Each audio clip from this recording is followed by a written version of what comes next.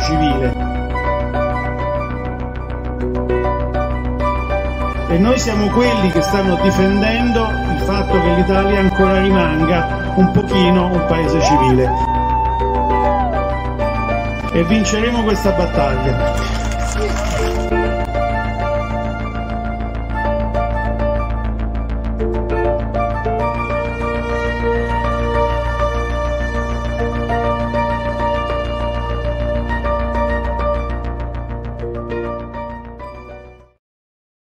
Buona serata, ben ritrovati amici di Border Nights 19 e 19. Volevo subito salutare e mandargli chiaramente un abbraccio, braccio di ferro che ci scrive carissimi Fabio Alessandro. Vi saluto da un maledetto letto di ospedale pubblico.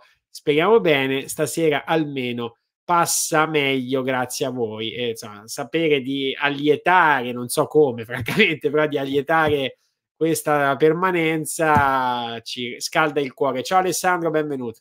Ciao Fabio e un saluto a braccio di ferro, ovviamente eh, che, che, il nome gli sia di, di, di, buon augurio, dai, speriamo che si rimetta presto e che possa uscire da quel luogo triste, comunque pubblico o privato che sia, è triste. E allora un saluto poi a Franco, a Teo, LS, chi era il primo? Il primo è stato Andrea, che, che salutiamo, poi c'è Livia, Luisa, Paola e l'immancabile Sonia. Benissimo, allora eh, è la fungheria, è la fungheria Luigi Batacchio, non, non può mancare. Allora, eh, vorrei partire prima di entrare nel vivo di alcune, di alcune questioni, eh, però ci, mi piace con te Alessandro proprio ragionare anche di eh, situazioni qua, qualcuno che definirebbe anche filosofiche o altro, però che poi hanno un impatto sulle nostre scelte.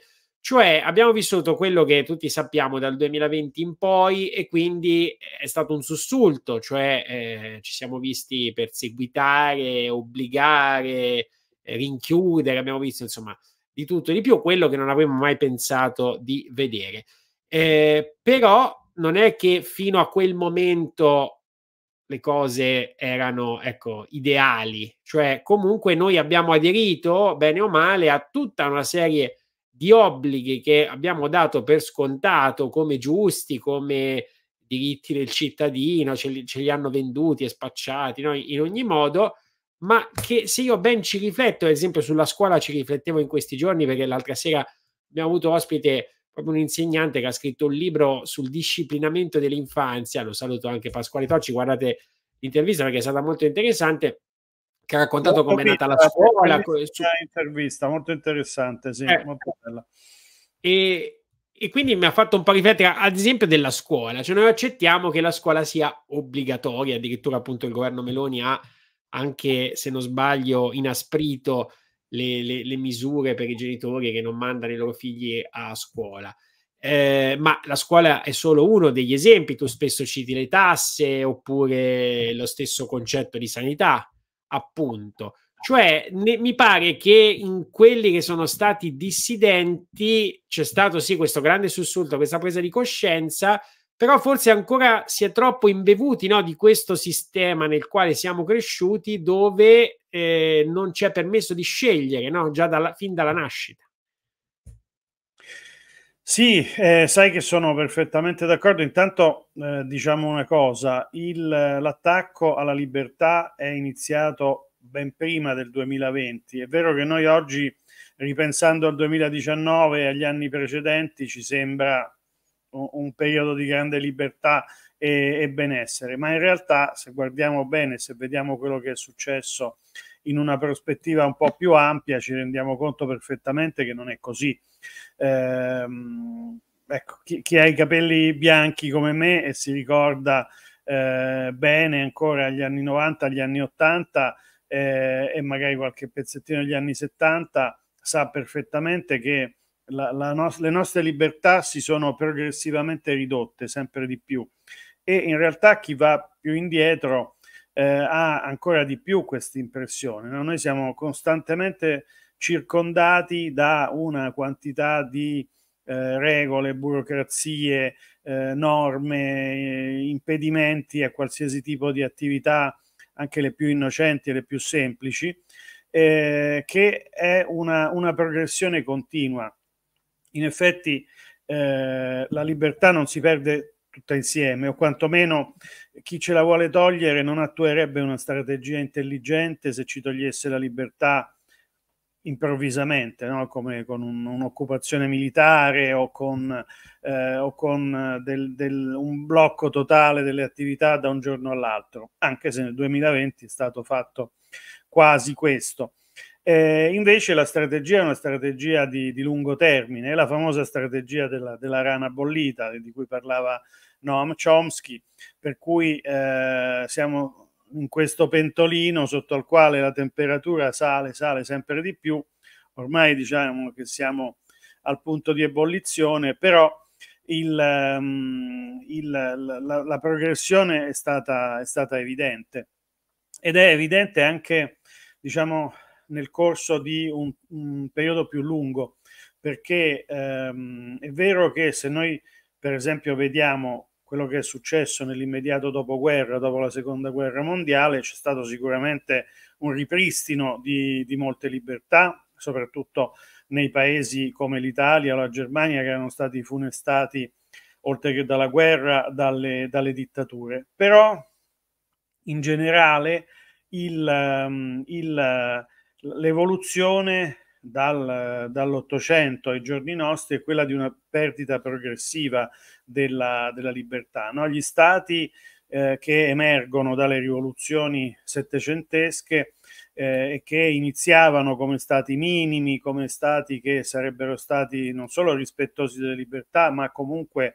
difensori di, delle libertà e dei diritti fondamentali, piano piano si sono modificati sempre di più. L'esempio, se vuoi, eh, più lampante è quello degli Stati Uniti d'America, ma questa evoluzione è stata condivisa in tutto il mondo e il tema della libertà che era centrale nel, nel, liberalismo classico e nei movimenti rivoluzionari dai quali emergono le nostre cosiddette democrazie occidentali, è un tema che si è perso che non ha più, eh, che non ha più centralità nel, nell'opinione pubblica, che non è più un, un tema. E ancora oggi, eh, dopo quello che abbiamo vissuto negli ultimi quattro anni, il tema della libertà non è centrale.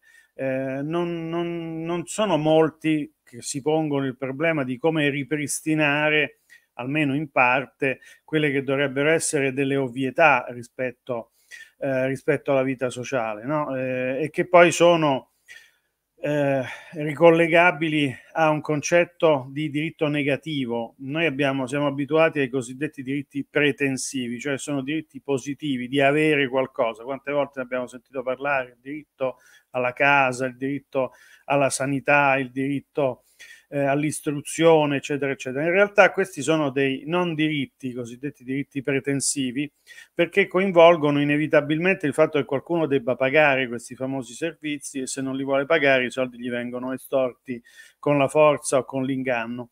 Invece la libertà sarebbe un diritto negativo, cioè il diritto a essere lasciati in pace, il diritto a essere riconosciuti proprietari di se stessi, il diritto a essere riconosciuti titolari esclusivi della possibilità di decidere cosa avviene della proprietà privata, del proprio tempo eh, e quindi il diritto a compiere le proprie scelte.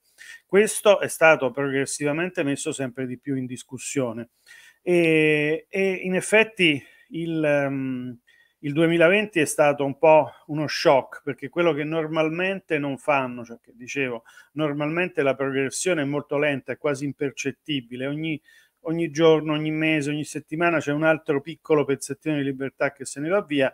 Nel 2020 hanno tentato, diciamo così, il colpo grosso perché hanno abolito tantissime libertà individuali molto rapidamente da un giorno all'altro fondamentalmente. E in parte gli è andata molto male questa cosa.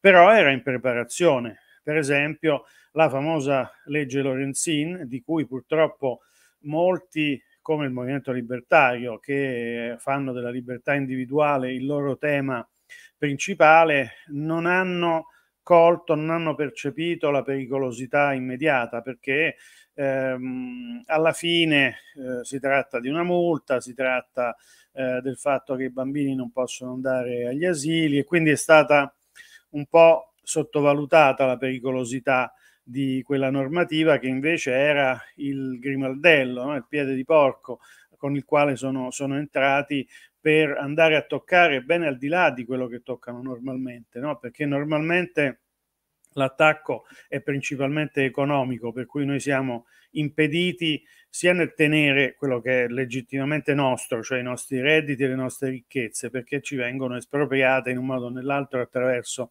le infinite forme di tassazione. E poi eh, siamo impediti nello svolgimento di una serie di attività che sono soggette a regolamentazioni che quindi vengono sostanzialmente bloccate dall'intervento statale. Però con la legge Lorenzin in realtà con altre leggi che l'avevano preparata, che non è la prima legge che impone determinati obblighi, c'è stato un salto di qualità perché l'ingerenza dello Stato nella libertà delle persone va a toccare i corpi, cioè va a toccare una sfera di intangibilità che sembrava ovvia e che in teoria è ovvia in una serie di testi del diritto internazionale, ma che sono stati completamente disattesi, a dimostrazione del fatto purtroppo che le costituzioni, i trattati internazionali, per quanto belli, per quanto ben scritti, non sono un reale ostacolo rispetto all'azione di un'organizzazione violenta e coercitiva come possono essere gli stati o le organizzazioni internazionali, ancora peggio. Perché poi pensando anche alla scuola, cioè tu genitore, è vero che ci sono, no? Volendo le scuole parentali, ma quanti ostacoli comunque devono sopportare? Spesso no? cioè, subiscono delle ispezioni oppure magari non vengono considerate legittime o regolari, poi comunque devi andare a sostenere a fine anno un esame, no? E spesso ci sono no, dei trattamenti diversi per chi viene da, da queste scuole rispetto a, a, chi ha frequentato la scuola normale, quindi tu sei quasi sostanzialmente obbligato a mandare il figlio a scuola e potrebbe essere giusto per la cosiddetta socializzazione, ma a, eh, come dire, sorbirsi quella che è la verità, tra virgolette, di Stato, pensiamo no? al modo in cui viene raccontata la storia, a, a, tutti questi progetti che negli anni sono stati inseriti in modo subdolo eh, come progetti esterni, progetti speciali che vanno sempre in certe, in certe direzioni. Quindi eh, questa libertà di scelta purtroppo eh, è stata negata quasi fin dall'inizio. Sì, ma poi la scuola, come diceva mh, molto bene il tuo ospite in quella diretta che citavi, mi sono dimenticato il nome, no, non per mancanza di rispetto. Pasquale Tocci, sì, sì. Ecco, Pasquale Tocci. E la scuola eh, ha una serie di effetti nefasti sull'educazione delle persone. Intanto è un'istituzione totale, no? è come il carcere, come l'esercito, cioè è una struttura all'interno della quale il bambino viene inserito e non può uscire sostanzialmente. È eh, l'offerta e la proposta di un modello unico, perché non è che ci siano possibilità alternative. La scuola è quello, è il, un'organizzazione che è strana alla famiglia, è strana poi alla scelta sia della famiglia che dei bambini e dei ragazzi e che impartisce un determinato tipo di istruzione e ancora peggio, ormai eh, vuole farsi anche il um, titolare del diritto all'educazione. No? Abbiamo sentito tutte le eh, bufale e panzane sull'educazione sentimentale, l'educazione affettiva, che dovrebbe essere responsabilità delle scuole e che eh, fa salire di un ulteriore grado il livello di indottrinamento scolastico perché va a inserirsi non soltanto sulle opinioni dei, dei, dei giovani per quanto riguarda la struttura, no? perché la scuola è il veicolo principale della propaganda statale, ma adesso vuole anche inserirsi nelle relazioni affettive, nella sessualità, in una serie di tematiche dalle quali in realtà la scuola dovrebbe stare completamente fuori o comunque dovrebbe essere il frutto di una libera scelta dei genitori e dei ragazzi dovrebbe esserci una, una serie di alternative che invece non ci sono perché eh, anche l'alternativa finta pubblico-privato per quanto riguarda le scuole è apparente, nel senso che poi le scuole pubbliche o private che siano devono comunque impartire l'istruzione che nasce da una serie di programmi ministeriali e che sono obbligatori. Quindi non c'è autonomia dell'insegnamento, non c'è autonomia nella scelta delle scuole, non c'è nessuna possibilità per i genitori di poter veramente scegliere l'istruzione che preferiscono per i loro figli. E infatti, come tu dicevi giustamente, chi tenta di farlo attraverso l'educazione parentale poi spesso viene avversato. D'altro canto, noi abbiamo parlato tante volte di disobbedienza civile. La disobbedienza civile e la sottrazione del consenso rispetto a questa struttura coercitiva nella quale noi siamo costretti a vivere dipende principalmente dalla creazione di menti libere e quindi la cosa più pericolosa per lo Stato e per non è solo lo Stato, per tutti quelli che se ne servono poi per eh, portare avanti i loro programmi più o meno eh, turpi e lordi, eh, la cosa fondamentale è impedire la nascita di persone consapevoli, di menti libere, perché le menti libere sono quelle che potrebbero revocare il consenso e potrebbero essere eh, protagonisti della, della, disobbedienza civile. No? Eh, non c'è disobbedienza civile se sono tutti quanti incasellati, organizzati nella propaganda statalista e quindi questa è la cosa più pericolosa ovviamente per, per, gli stati e quindi la scuola si espande sempre di più in termini di indottrinamento. Vediamo quello che succede oggi, no? ci sono stati tanti che hanno commentato sui vari canali social quello che viene trasmesso ai nostri figli dalle scuole, dalla propaganda gender alle cretinate sul cambiamento climatico. Per esempio, se tu parli con la maggior parte dei giovani Mhmm, giovani e giovanissimi, non hanno nemmeno l'idea, l'ipotesi che la, le cretinate sul cambiamento climatico possano essere, come sono, una, una frode scientifica, perché questo viene martellato nelle teste dei bambini che non devono poter nemmeno pensare che ci possa essere un'altra realtà. No? A questo serve tutta questa, tutta questa struttura ed evidentemente il successo è grande di, di, questa, di questa operazione, che non toglie che noi cerchiamo di opporci e di fare qualcosa di diverso.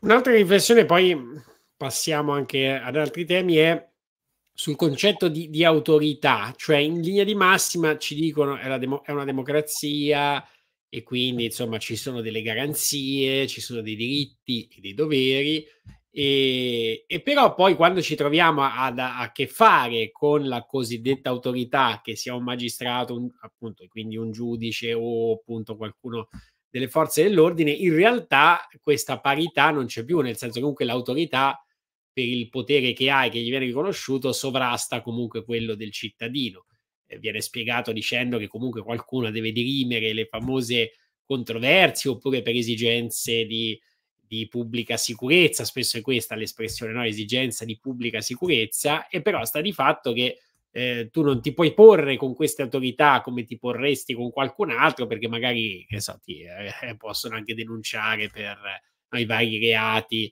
legati appunto a, ad esempio ai pubblici ufficiali e via dicendo. Quindi Qui si vede proprio anche la, la faccia dello Stato in, un, in versione quasi de, del vecchio sovrano.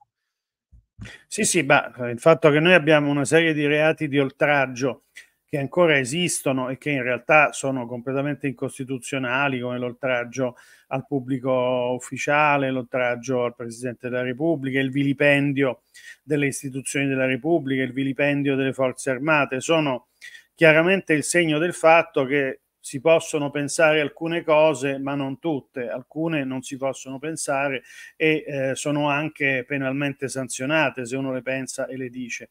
Il che ti dimostra che eh, l'idea della democrazia, la libertà che ci vogliono far credere che esistano in realtà è, è, una bufala, non esiste nulla di tutto ciò e il rapporto fra eh, Stato e cittadino è un rapporto tra sovrano e suddito. Poi ci dicono per darci il contentino la sovranità appartiene al popolo, la sovranità non appartiene al popolo nemmeno un po'.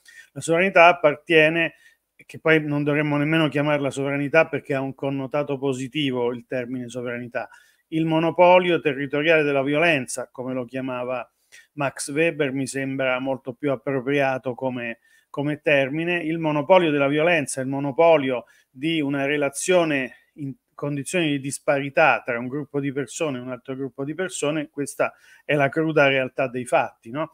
Eh, io lo dico sempre, se c'è una frase che è una menzogna, è quella che sta scritta in tutte le aule di tribunale, no? si legge sempre la legge è uguale per tutti. E, e non solo la legge non è uguale per tutti, nel senso che normalmente si intende che ci sono i corrotti, che ci sono quelli più ricchi e potenti che riescono a sfangarla più facilmente. La legge non è uguale per tutti perché è la legge a sancire una condizione di disparità tra diverse categorie di cittadini. Ci sono una casta dominante che normalmente vive di parassitismo perché si alimenta di quello che producono gli altri e c'è una amplissima classe di sfruttati che per no, perché non si rendano conto di questa relazione di sfruttamento e di dominio di un gruppo di persone su un altro gruppo di persone vengono tenuti nell'ignoranza, vengono indottrinati attraverso le scuole, vengono sottoposti a una forma di propaganda che gli deve far credere delle sciocchezze fondamentalmente, appunto tipo la sovranità appartiene al popolo, lo Stato siamo noi, siamo noi che decidiamo, sono tutte solenni sciocchezze eh, che devono mascherare quella che in realtà è una relazione eh, basata sulla violenza o sulla minaccia della violenza che a volte è sufficiente, non sempre il, il, il titolare della forza fisica deve necessariamente impiegarla, può semplicemente minacciare l'utilizzazione della forza fisica ed è quello che normalmente accade. Però è cruciale che questo, questo tipo di relazione basata su un diritto disuguale, per cui le regole valgono per alcuni non valgono per altri, per cui alcuni hanno il diritto di derubare, uccidere, eh, ridurre in schiavitù gli altri, non deve, essere, non deve essere chiaro, non deve essere evidente, deve essere mascherato attraverso uno schermo propagandistico rispetto al quale ci sono tutta una serie di istituzioni che servono, quella basilare e la scuola perché serve a indottrinare i bambini, ma poi c'è l'istruzione superiore che è altrettanto importante, che deve allevare una, una classe di eh, professionisti e di intellettuali che eh, devono essere tenuti accuratamente distanti da qualsiasi pensiero che non sia in linea con quello desiderato dal, dal, dal, dalla struttura statale. Faccio un esempio forse banale ma semplicissimo. Io ho studiato giurisprudenza come tutti quelli che fanno il mio mestiere e io credo il giurista più importante dell'epoca moderna eh, italiano è Bruno Leoni, eh, che ha esposto delle teorie sulla formazione della regola e sulla natura del diritto che sono fortemente eversive rispetto a quello che noi conosciamo. Leoni poi ha scritto e detto tantissimo, comunque metteva in dubbio la legittimità della legislazione, cioè la possibilità che ci fosse un rapporto di autorità tra il legislatore, che è lo Stato, e i sudditi che devono obbedire alle norme che vengono imposte dall'alto. E lui proponeva invece di riprendere quello che è stata la formazione del diritto per migliaia di anni, che è la formazione del diritto romano, che è il frutto di una continua ricerca effettuata da parte degli studiosi, effettuata nell'ambito delle controversie giudiziarie, che ha prodotto poi delle regole che sono state riconosciute come universalmente valide, tant'è che sono ancora oggi la base del nostro diritto civile, del nostro diritto commerciale.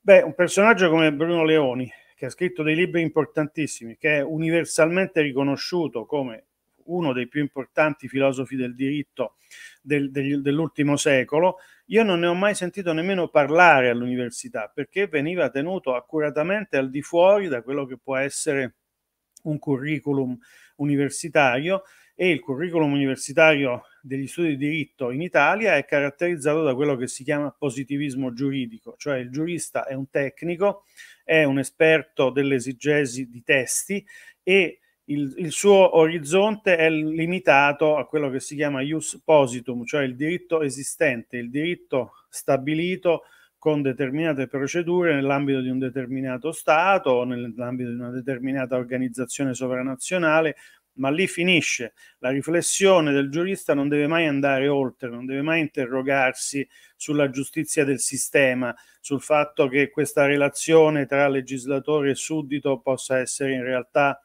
una relazione malata e da, da rivedere criticamente, perché questo non, non fa comodo, non si vuole che questo accada. E così tanti altri ambiti della, della conoscenza, no? non si deve in nessun modo alimentare un pensiero critico, tant'è che noi siamo arrivati ormai alla follia degli ultimi anni, che è forse l'ultimo stadio di questa evoluzione, in cui addirittura le scienze naturali, che in teoria dovrebbero essere il, il luogo principale del dubbio scientifico, della discussione, della libertà totale di ehm, di messa in discussione di qualsiasi opinione, ormai la scienza eh, esatta viene definita in termini dogmatici. No? Ci sono alcuni articoli di fede ve- veri e propri presentati come scientifici, ma che non si possono mettere in discussione, vedi eh, il famoso cambiamento climatico o altre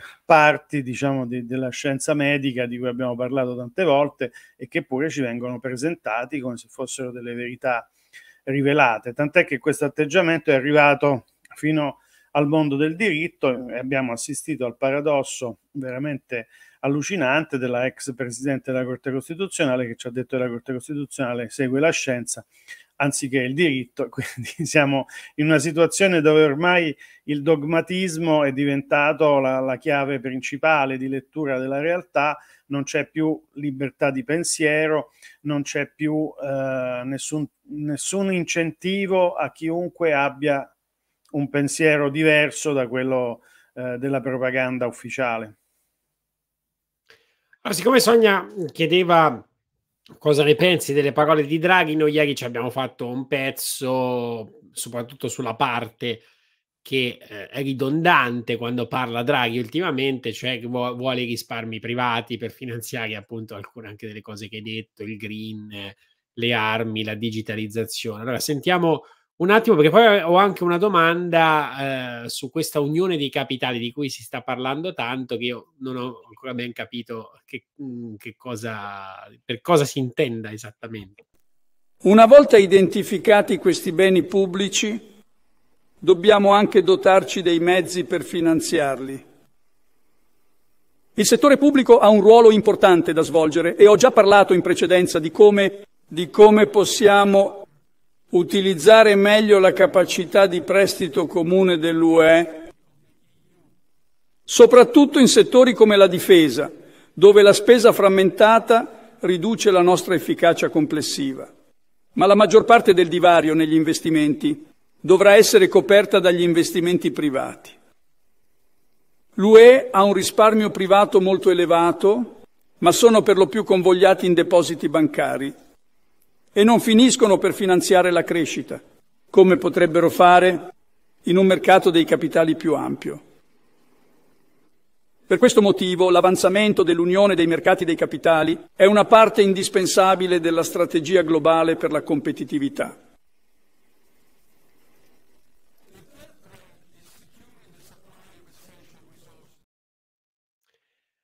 Allora, ehm, eh, avete sentito bene, no?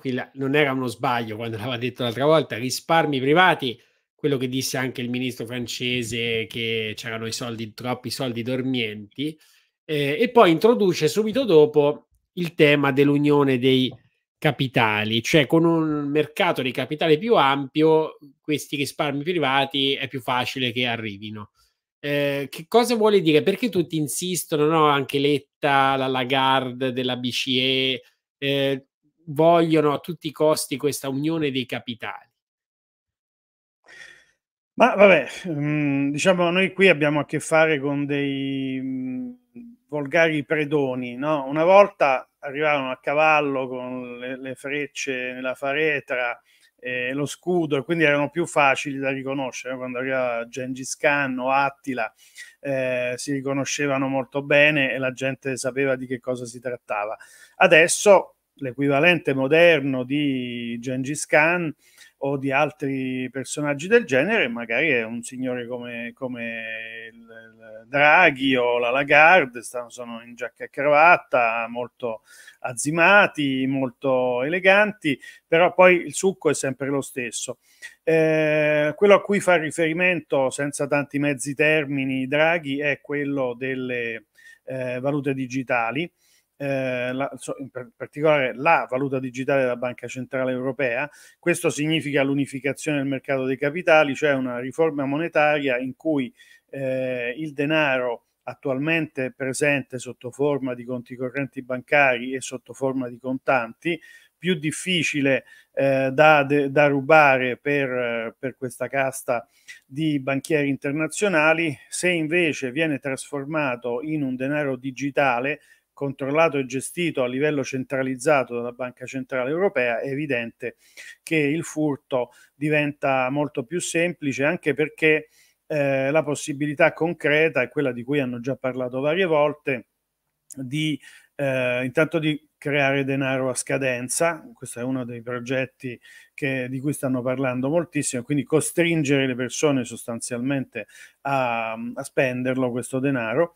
E eh, uni, uni, unendo questo con eh, delle regolamentazioni su come si può spendere il denaro, perché che già ci sono, eh, perché eh, ci sono tutte le regolamentazioni ESG, tutte quante le regole alle quali sono soggette le imprese, per cui non si può più investire come si vuole, l'investimento deve eh, prestare omaggio al, alle politiche, soprattutto ambientaliste, eh, cosiddette ambientaliste, che in realtà non hanno nulla a che vedere con l'ambiente. Eh, questo pure, vedi, noi siamo, anche noi siamo purtroppo eh, inseriti all'interno di questa operazione propagandistica, perché noi pure diciamo green, diciamo ambientale, diciamo i verdi, eccetera, eccetera, non ha nulla a che vedere con l'ambiente. Uno che vuole eh, togliere di mezzo gli alberi e i campi coltivati per metterci delle, delle eh, celle fotovoltaiche o vuole metterci delle pale eoliche, è qualcuno che sta operando contro l'ambiente, che sta cercando di inquinare eh, la natura e di sostituire la natura con qualcosa di artificiale, di dannoso, eccetera, eccetera. Quindi eh, è, è, è una delle tante operazioni di spostamento semantico di tipo orwelliano, per cui adesso l'inquinamento si chiama green, però di fatto questo è, cioè è una colossale operazione industriale in cui non, non, ritengono di aver rubato a sufficienza, cioè ci deve essere un colossale trasferimento di denaro dal risparmio dei privati cittadini per andare a finanziare, anche questo lo diceva Draghi abbastanza chiaramente nel suo discorso, per andare a finanziare due cose. Uno, l'industria bellica, è quello a cui pensava, e questo è, è il loro sogno di fare l'esercito europeo e arrivare a una spesa militare centralizzata e poi di eh, espropriare sostanzialmente i fondi e, e, i risparmi dei cittadini per andare a finanziare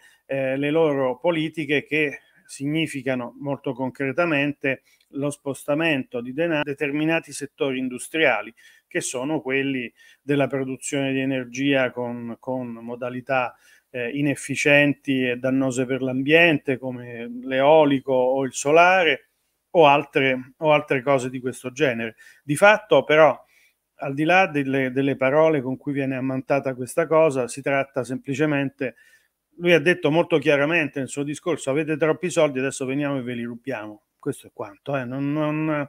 Poi è chiaro che se lo dicesse così, magari non avrebbe nemmeno la possibilità di candidarsi a fare il nuovo presidente della Commissione europea, adesso sta sgomitando per fare, gli è andato male tutto, eh, quindi speriamo gli vada male anche questo perché voleva fare il Presidente della Repubblica e, e, non gli è andata bene, voleva fare il segretario generale della Nato e non l'hanno nemmeno considerato, adesso sta tentando di trovarsi un posto a Bruxelles, speriamo che non ce la mettano, ma non è che l'alternativa è, è buona, eh, perché vabbè, probabilmente la von der Leyen dopo tutti gli scandali in cui è coinvolta magari per ragioni cosmetiche non la, non la ripropongono, ma, mm, ma, comunque se non ci sarà Draghi ci sarà qualcun altro che magari è pure peggio di lui.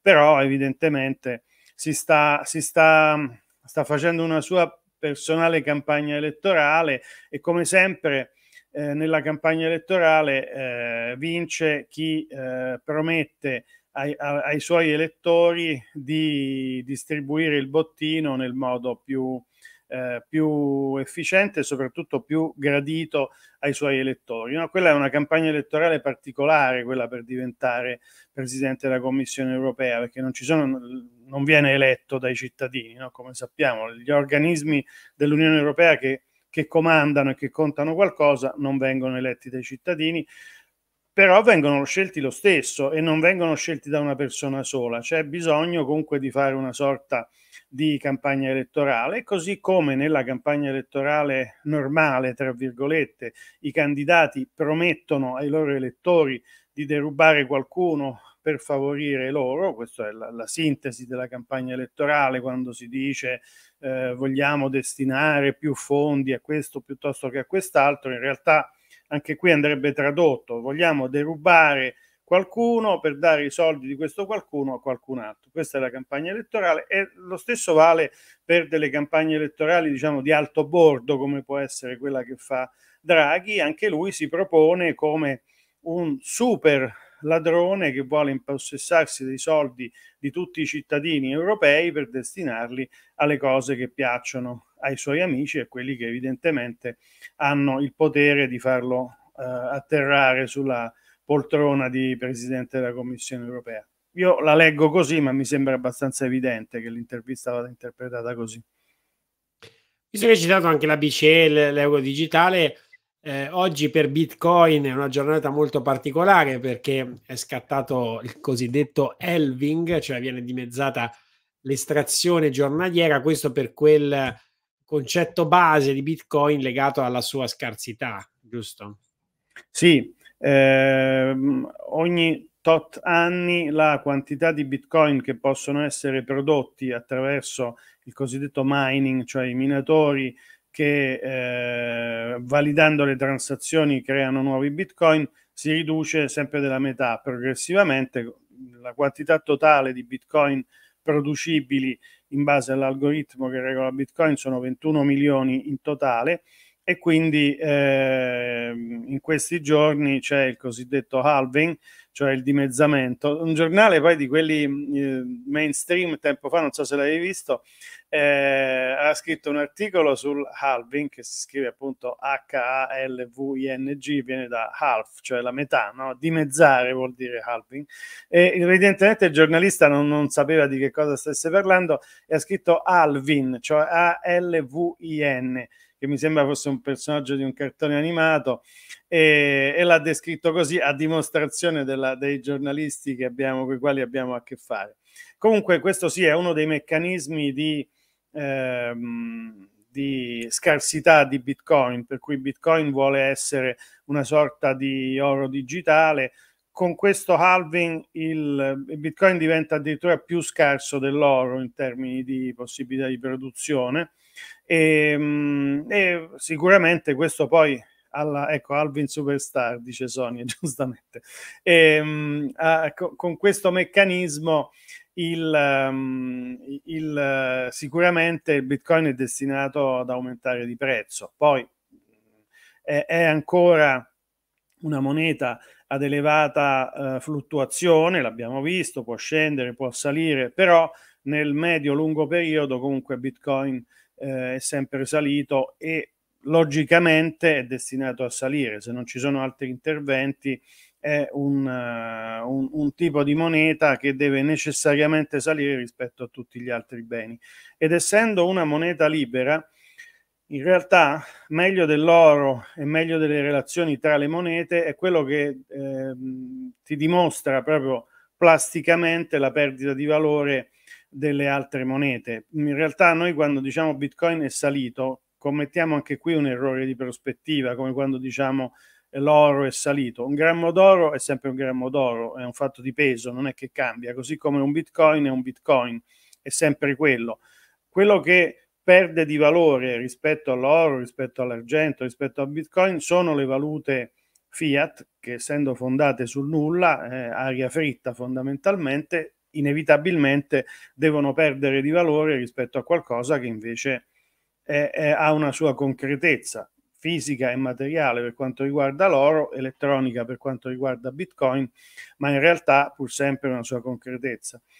E a proposito di questo, mi piace sottolineare per l'ennesima volta, tanti me lo chiedono, Bitcoin che cosa rappresenta? Non rappresenta niente, Bitcoin è Bitcoin, così come l'ho, un grammo d'oro, cosa rappresenta? Non rappresenta niente, è un grammo d'oro.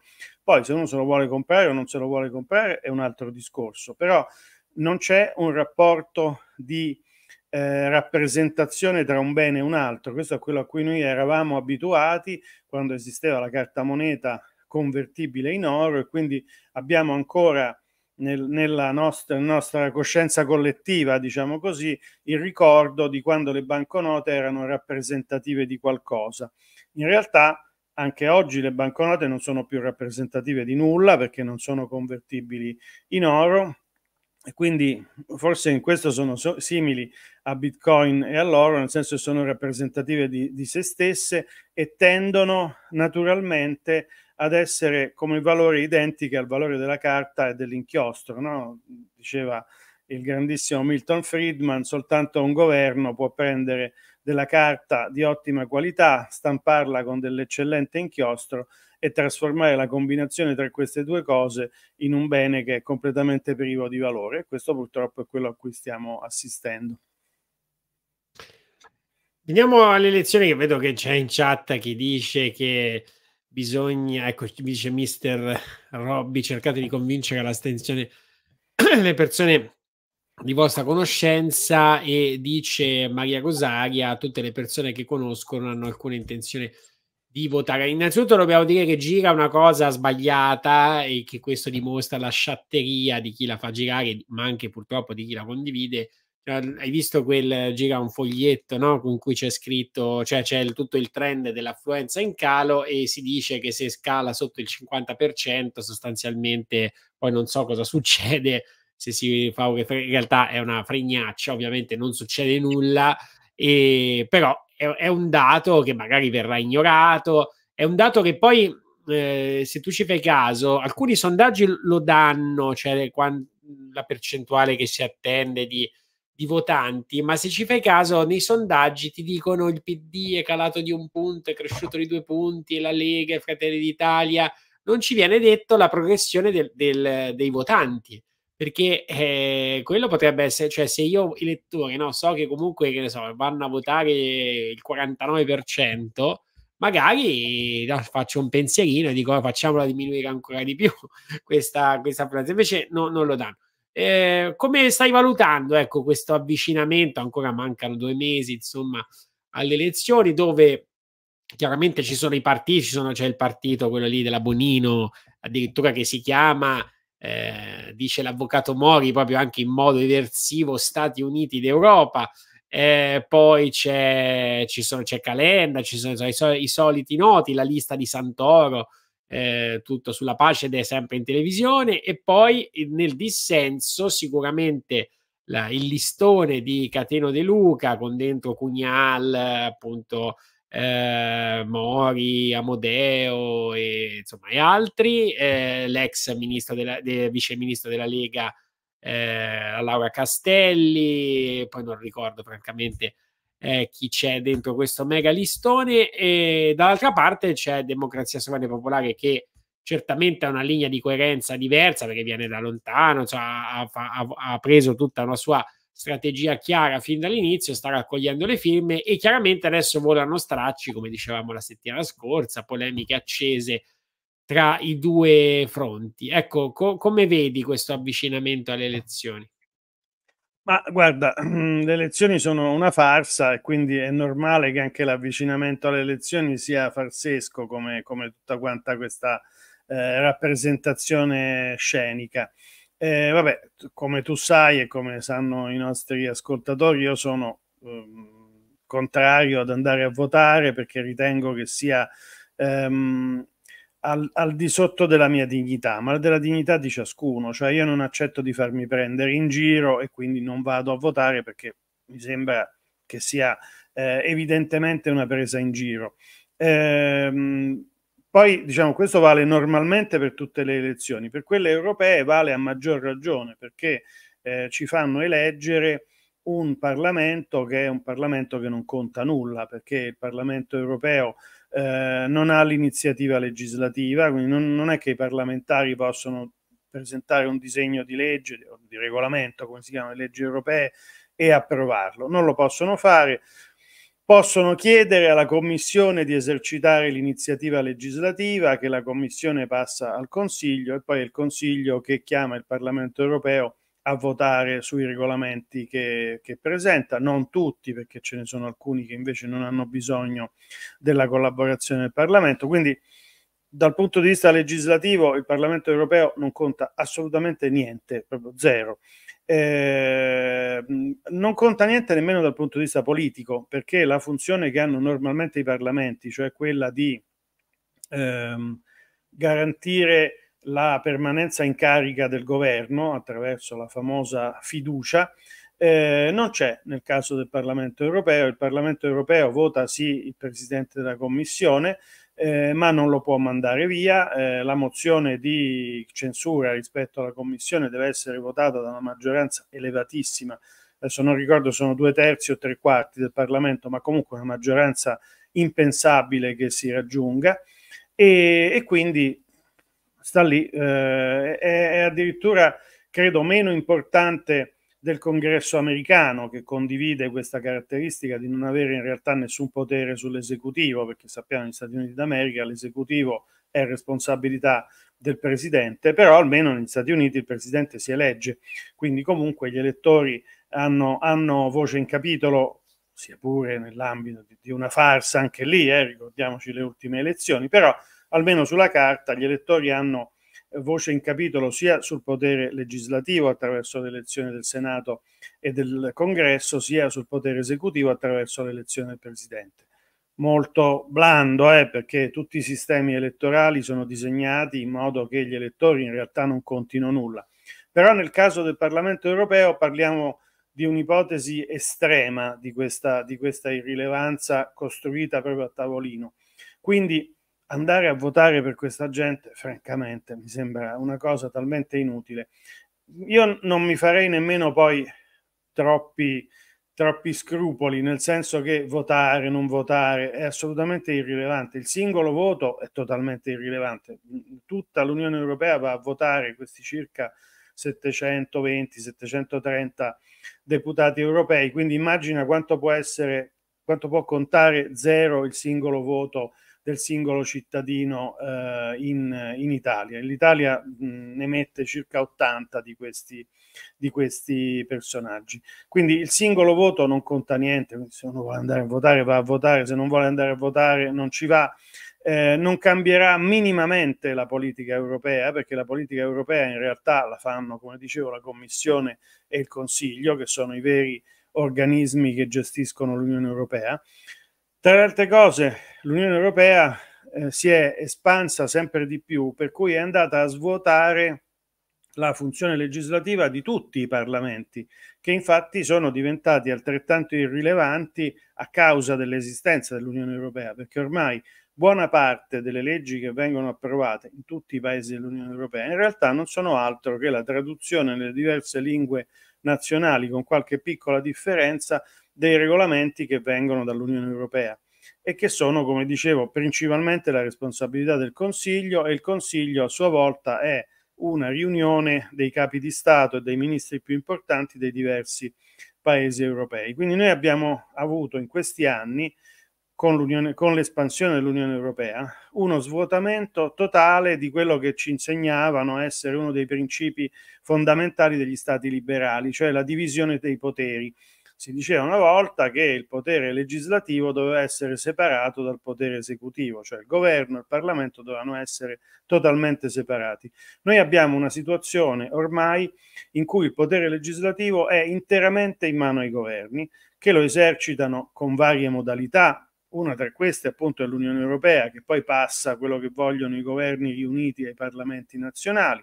Da noi abbiamo il sistema dei decreti legge. Comunque, fatto sta, i parlamenti, tutti i parlamenti e quello europeo in modo eh, superiore a tutti gli altri perché è il modello di questa evoluzione, non contano niente e non sono più gli organismi che hanno in mano il potere legislativo, sono degli, degli organi che approvano quello che gli viene passato dai governi sotto varie, varie modalità. Allora perché non votare? Non votare significa far capire a questa gente che abbiamo intuito il gioco, che non ci stiamo, che non ci facciamo prendere in giro e soprattutto gli andiamo a smontare un elemento fondamentale, cioè quello della legittimazione. In realtà mh, non gliene importa nulla se votiamo il, la cozzaglia di Cateno De Luca piuttosto che la Lega, il PD o chiunque esso sia, non è importante chi viene votato e chi viene eletto. Que- l'unica cosa che gli interessa è che vadano un certo numero di persone a votare, perché questo dà legittimità al sistema, perché possono continuare a far passare la sceneggiata propagandistica che il sistema è voluto dai cittadini. Ecco, visto, sono andati a votare eh, 40 milioni di persone, quindi la democrazia ha trionfato. No? Quante volte ci sentiamo dire queste sciocchezze? Per questo è importante non votare, perché significa sottrarre il consenso a questa enorme e colossale truffa. E poi a me piace sognare, no? da, da, complottista, quindi mi, mi, mi, rivendico il diritto di sognare. Tu immagina se, se a votare andasse non dico nessuno, ma pochissimi, il 10% degli aventi diritto, il 5% degli aventi diritto, giusto la, la, lo stretto entourage dei politici e di quelli che mangiano con questo, con questo sistema.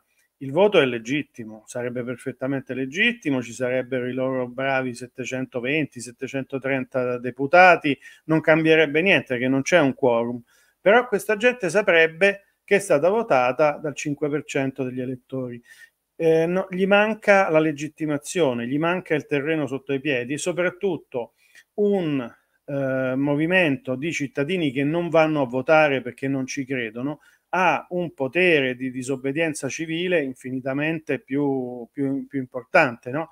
Immagina se questo 90% di gente che dice basta, ci siamo stufati di essere presi in giro sistematicamente dalla mattina alla sera, dicesse anche non obbediamo più alle vostre leggi, fate quello che vi pare, potete scrivere tutte le leggi che vi pare. La legge è un pezzo di carta, l'unica cosa che le dà efficacia è il fatto che la gente più o meno si adegui, anche se non ci crede, anche se sa che è una cretinata, ma la disobbedienza potrebbe acquisire una, un potere enorme e per questo dà tanto fastidio il non voto, per questo sono così preoccupati che la gente non vada a votare. Quindi io sicuramente non voto e consiglio a tutti di non votare, ma tranquillo, sine Iraq studio, come dicevano gli antichi romani. Quindi se volete andare a votare, andate a votare, pazienza. Vi voglio bene lo stesso, però non conviene, non è una scelta intelligente. Posso fare un parallelo fo- forte forte? Ma qui siamo andare... complottisti, quindi... Sì, no, qui... andare a votare non è come aver creduto al dio Siero e ai suoi benefici effetti? Ma sì, cioè andare a votare, scusami, andare a votare e credere che, che serva qualcosa che cambino le cose può essere uguale ad aver creduto al dio salvifico ma penso sicuramente di sì. Poi c'è, c'è, la famosa frase attribuita a Einstein, non so se sia vera oppure no, lui diceva la definizione di stupidità è continuare a fare la stessa cosa e aspettarsi degli, del, dei risultati diversi, no? Votare è un po' la stessa cosa, no? Quante volte abbiamo votato, quante volte sono arrivati i, quelli buoni, il partito degli onesti, adesso cambieremo tutto, addirittura abbiamo avuto la Lega, che forse è stato il partito di protesta più radicale, che voleva la secessione, viva Dio, magari l'avessero fatta, la secessione dell'Italia settentrionale, questo avrebbe spaccato definitivamente l'Italia, sarebbe tornata alle sue origini ottocentesche, magari anche loro sono comunque finiti in mezzo al sistema, quindi ah, lasciamo perdere. E sono d'accordo con te, eh, credere a questa gente eh, sì, è, su, su, qualunque cosa ci dicano, dal siero salvifico alle elezioni e quant'altro, ehm, significa farsi prendere in giro. Per questo dicevo, è anche un fatto di dignità. Noi abbiamo a che fare con un gruppo di mentitori seriali che ci hanno raccontato delle bufale raccapriccianti. Adesso tu menzionavi il famoso eh, prodotto miracoloso eh, che eh, non so se hai letto, qualche giorno fa c'è stata un'udienza eh, in un tribunale a Helsinki dove è andata a testimoniare una eh, alta funzionaria dell'OMS, la dottoressa Anna Noinek, che ha detto che loro sapevano perfettamente che questa roba non funzionava, che, che il, il, famoso passaporto sanitario verde non serviva a niente e che eh, evidentemente questa, questo carosello era stato messo in piedi soltanto per favorire determinati interessi economici e che interessi economici. L'ha detto in un'aula di tribunale e non è che l'ha detto Frabetti l'ho detto io, vabbè, l'ha detto un'alta funzionaria del, dell'OMS che, eh, citata a testimoniare, ha detto queste cose. Eh, in teoria, sai, in un mondo normale questa cosa doveva stare sulle prime pagine di tutti i giornali, invece eh, la raccontiamo noi stasera, ma è così, è una notizia che è stata diffusa e confermata e quindi sicuramente è quello che è successo. E non si può credere a questa gente, cioè eh, qualunque cosa ti raccontino, non gli puoi credere. Io spesso lo cito, torniamo alla nostra infanzia, torniamo al, a un, elemento costitutivo della nostra infanzia di italiani, che è la più grande favola che è stata scritta in lingua italiana, che è la favola di Pinocchio. Se c'è una cosa che la favola di Pinocchio deve insegnare ai bambini è di non fidarsi dei truffatori, no? la storia di, del, del, campo dei miracoli, il gatto e la volpe, le monete e, e Pinocchio perché diventa un bambino e non è più un burattino, è significativa questa cosa, non è più un burattino in mano a qualcuno che può attirare i fili, perché capisce che non bisogna fidarsi dei truffatori. Ecco, torniamo proprio a questo livello elementare di insegnamento. Noi quando eravamo i bambini piccoli utilizzavamo la favola di Pinocchio per spiegare ai bambini, vedi a Pinocchio come gli è andata male perché si è fidato dei truffatori. Ecco, è la stessa, identica cosa. Non ci fidiamo dei truffatori. Uno che viene e dice sì, vota per me perché così potremo cambiare le cose, oppure vai lì, fatti fare questa iniezione, così guarisci e stai benissimo. Evidentemente è un truffatore e quindi lasciamo perdere, no? Allora c'era per andare verso la chiusura eh, poi se trovo una cosa di Guzzanti sul voto che me la ricorda a memoria, ma non so se adesso riesco a trovarla mentre andiamo alla conclusione. Ehm, volevo quando faceva padre Pizarro, che è stato secondo me un personaggio geniale di, di, di Guzzanti ed una era veramente quello sì, sc- sc- tu pensa sulla Rai, no? Che, cioè, delle, c'erano sempre delle, delle, polemiche e quindi c'è stato un peggioramento ovviamente del, anche della libertà, cioè ce n'era poca prima ma ce n'è di meno adesso e si parla di Amadeus che se ne va come se fosse insomma un evento cruciale per le nostre vite. Ehm, c'era una... Vado a piangere per questa notizia, sì, sì. Eh sì, non trattenere le lacrime. allora, eh, anzi, prima della domanda, siccome l'altra volta ci fu un problema nel finale qui su YouTube, quindi non si è sentito il nostro appuntamento che per te è doppio eh, a Porto X, vi ricordo che stiamo raccogliendo le prenotazioni per la nostra festa di fine anno, la festa estiva a Porto X, saremo il 29 giugno a Lucignano in provincia di Arezzo in questo luogo bellissimo. Alessandro farà due cose, una eh, legata a Border Nights e poi il giorno seguente eh, farà un ulteriore evento sempre a Porto X. Ci saranno Davide Rossi, Roberto Quaglia, Stefano Re, eh, Iuriberti, Paolo Franceschetti, proprio i fondatori le, di Porto X che sono interessantissimi da ascoltare, Valentina e Valentino. Tra l'altro si sono staccati dalla, dal, dal sistema elettrico, ce l'hanno spiegato tra qualche giorno fa qui sul canale, Sandro Torella in collegamento Massimo Mazzucco, Mirko Mariucci e chissà, forse anche qualcun altro, eh, i posti sono più dello scorso anno, quindi c'è ancora posto, chiamate, affrettatevi, però questo è il numero 351 99 36207 porto-x.com e tu Alessandro poi il giorno seguente farai altro. Il giorno seguente mi trattengo sempre a Porto X e con Valentino ne stavamo parlando già da un po' di anni, sai, Porto X si ispira un po' al, all'idea dei, del porto dei pirati, no? per questo si chiama Porto X e quindi eh, parlerò di Storia dei pirati, Pirati dei Caraibi, eh, che è una storia interessantissima che forse non molti conoscono e che è strettamente legata poi alle idee di, di libertà e di... Eh, di liberazione dal, dalle strutture statali che sono, che sono state poi eh, il, il, il, terreno sul quale si è nutrita la rivoluzione americana e quindi parlerò di questo tema che è un tema eh, molto interessante per chi, per chi, apprezza magari di sentire una storia un po', un po' revisionista, un po' contraria a quella che viene raccontata normalmente. Allora, c'è una domanda sulle buste paga eh, digitalizzate, cioè ci diceva una mail, la, un'azienda così senza dire niente, poi ha detto che insomma questi, tutti i dipendenti devono, devono fare un account per ricevere questa busta paga in digitale. Procedura legittima, chiede que- questa amica, credo amico, non ricordo.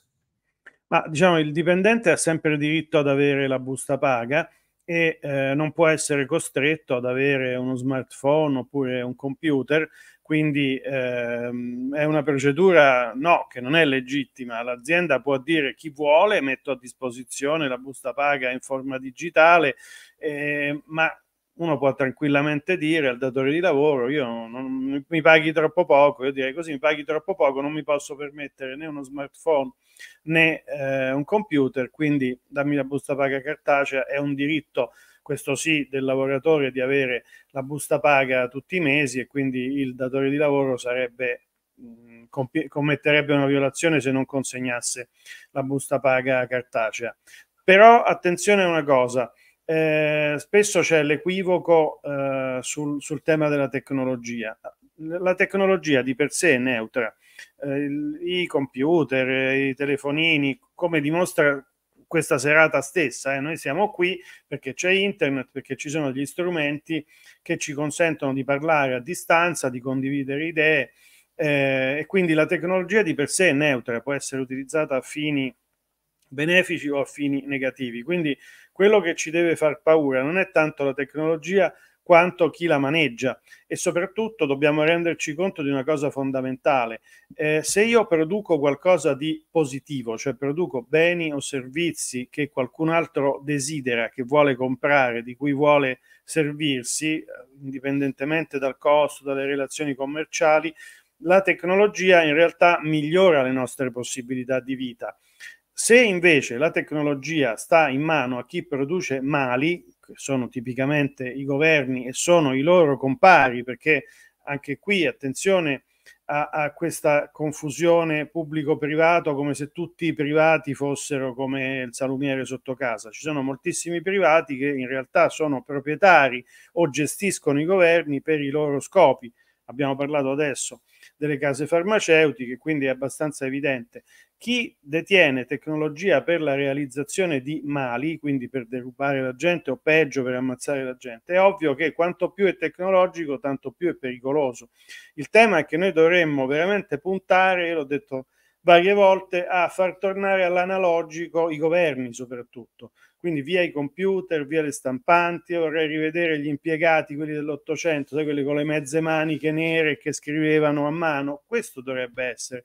La tecnologia in mano al governo è sempre pericolosa.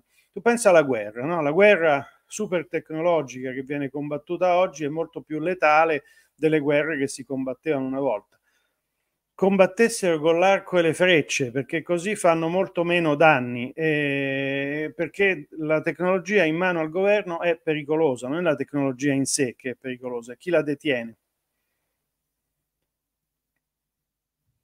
Allora, questo come tutte le cose, dipende l'uso che se ne fa, eh, chiaramente.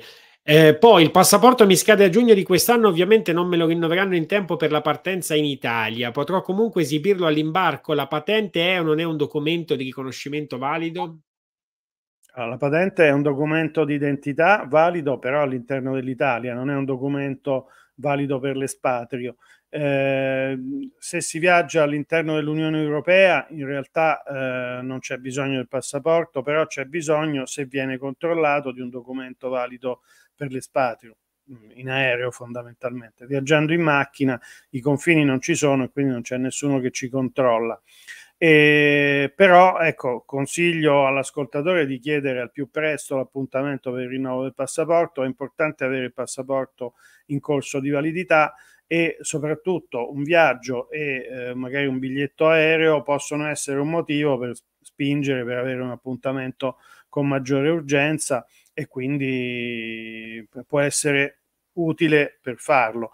Il, tra le altre cose il biglietto aereo e la scadenza può essere anche un buon motivo per chiedere la, la carta d'identità che in Europa è un documento valido per l'espatrio con procedura d'urgenza. Però è sempre bene avere in mano un documento per l'espatrio in corso di validità perché non si sa mai che cosa succede e magari se le cose vanno veramente male può essere intelligente andarsene e poi tiene banco sempre la storia delle impronte digitali rilasciate per la carta d'identità. Eh, vorrei chiarimenti, dice Monica, visto che l'avvocato aveva detto che non si è tenuti al rilascio delle impronte per la carta eh, d'identità elettronica, ma da tutti gli articoli letti online, anche di avvocati, si ribadisce il fatto che è obbligatorio il rilascio delle suddette impronte. Fermo restando che non rinnoverò la mia carta d'identità cartacea, ma userò il mio passaporto fino al 2032, mi chiedevo quale fosse in realtà la normativa. Mm, la normativa è molto semplice, ci sono due normative. Una è il codice dell'amministrazione digitale eh, e nel codice dell'amministrazione digitale, il decreto legislativo 82 del 2005, all'articolo 66 è indicato chiaramente, non ci sono dubbi su questo, che il rilascio dei dati biometrici secondari, cioè le impronte digitali, è facoltativo. Poi c'è una normativa europea che disciplina le carte d'identità, e che dice due cose. La prima è che le carte d'identità non leggibili dalle macchine a livello europeo, quindi per varcare i confini, saranno valide soltanto fino ad agosto 2026, poi dopo non lo saranno più. E questa normativa dice che per il rilascio della carta d'identità leggibile dalle macchine eh, è necessario anche il rilascio delle impronte digitali. Quindi uno può andare al comune, chiedere la carta d'identità, rifiutare il rilascio delle impronte digitali e chiedere una carta d'identità non valida per l'espatrio. Questa è la situazione legislativa, che, che ne dicano gli altri colleghi, non so che leggi abbiano letto. Poi c'è un problema pratico, nel senso che ci sono moltissimi comuni che si rifiutano di farlo, cioè se io dico voglio la carta d'identità non valida per l'espatrio senza impronte digitali, che sarebbe valida come documento d'identità in Italia, ti dicono di no, che la possono fare soltanto con le impronte digitali perché non sono organizzate. Adesso si può fare causa al comune per le impronte digitali della carta d'identità? Evidentemente no, perché è una cosa che non ha senso. Anche perché è vero che bisogna cercare di opporsi in tutti i modi, l'abbiamo detto mille volte, mettere sabbia negli ingranaggi, eccetera, eccetera. Però queste benedette impronte digitali stanno sulla carta d'identità, esattamente come stanno sul passaporto. Il passaporto non si può fare senza dare le impronte digitali, perché a livello di controllo ai confini c'è il controllo delle impronte digitali poi è sbagliato, l'abbiamo detto mille volte, secondo me i documenti di identità non dovrebbero nemmeno esistere come documenti obbligatori, ma questo è un altro tema e non lo risolviamo certo col funzionario del comune o col poliziotto che ci devono rilasciare la carta d'identità o il passaporto. Però le impronte digitali, così come la fotografia, non possono essere conservate dal comune per più di 90 giorni, dopo devono essere cancellate perché c'è un regolamento anche qui dell'Unione Europea che dice che questi dati devono essere inseriti sul documento, non possono essere detenuti dall'amministrazione. Quindi se uno vuole dare fastidio, 90 giorni dopo il rilascio della, della carta d'identità o del passaporto, scrive e gli dice avete cancellato i miei dati perché non se li possono tenere questi dati e gli chiede la conferma della cancellazione. E a maggior ragione, poi l'altro tema fondamentale di cui abbiamo parlato tantissime volte è che il problema non è che sulla carta d'identità ci siano le impronte digitali e che queste impronte digitali siano leggibili da una macchinetta di quelle che controllano i documenti al confine. Il problema è se noi questa carta d'identità digitale la attiviamo come identità digitale sul sito del Ministero dell'Interno, che è una cosa che non è che fa il comune Il comune ci rilascia un pezzo di plastica che ha un chip sul, qual, sul quale ci sono i dati biometrici, la fotografia e le impronte digitali e, e i dati nome e cognome, luogo e data di nascita, eccetera, eccetera. Il problema è se noi questo documento lo attiviamo come documento elettronico, non che ce l'abbiano dato sotto forma di pezzo di plastica anziché pezzo di carta. Quindi la cosa, l'unica vera cosa fondamentale è quella di non attivare la carta d'identità elettronica, perché è un documento di identità digitale molto peggiore dell'alternativa attualmente esistente. Chi non può fare a meno di avere un'identità digitale, ci sono moltissimi che non possono fare a meno perché se no non lavorano, me compreso, come avvocato è impossibile accedere ai vari servizi dei, dei vari tribunali senza avere lo SPID, ma l'identità digitale meno invasiva che esiste attualmente è lo speed. L'importante e l'essenziale è non scaricare l'app io, non scaricare IT wallet e cercare di boicottare questi strumenti che sono infinitamente più efficienti dal punto di vista del controllo. Allora, ho recuperato questa parte di Guzzanti con cui chiudiamo. Eh, chiedeva qualcuno se ad esempio può ritirare la scheda delle comunali e non votare le europee. Si può fare, no?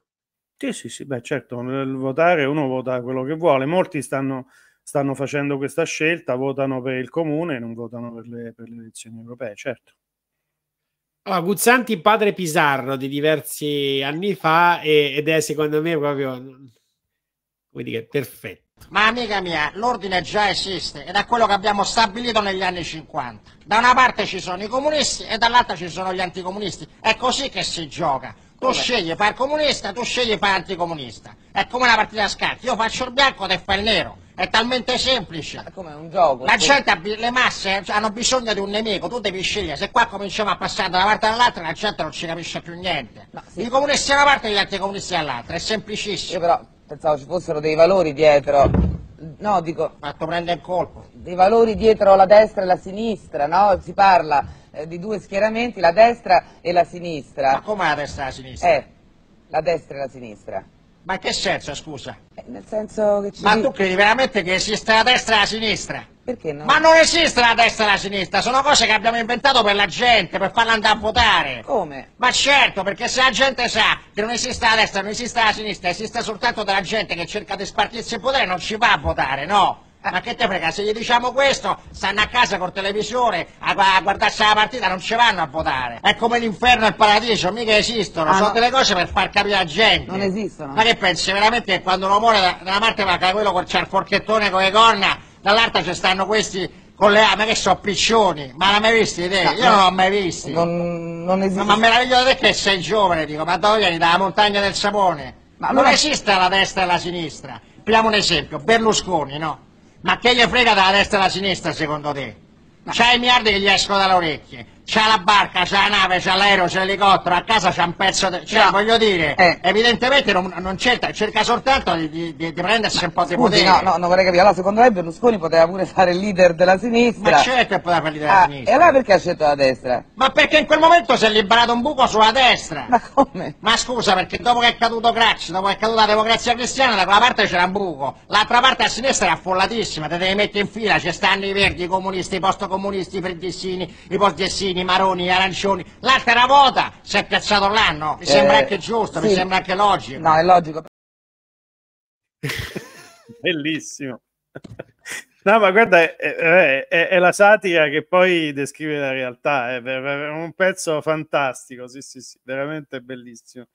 Eh sì, eh, meravigliava che con l'epoca il Rai andava in onda cose di eh, questo tipo. No? Questa è una di, di, quelle cose che sono peggiorate costantemente. In Rai ogni tanto qualcosa c'era, c'erano delle trasmissioni, mi ricordo eh, che so, alto gradimento no? negli anni 70, ancora c'erano, passavano delle cose abbastanza pesanti pure e poi invece la, la, la censura è andata sempre crescendo. Eh sì, dice, sì, diciamo che alla gente che è solo per spartirsi il potere, non ci va. ecco, non c'è, non c'è pezzo di propaganda contro il voto fatto meglio. grazie Alessandro, ci vediamo la prossima settimana. Ciao Fabio, grazie a tutti. che sta succedendo è indegno di un paese civile. E noi siamo quelli che stanno difendendo il fatto che l'Italia ancora rimanga un pochino un paese civile. E vinceremo questa battaglia.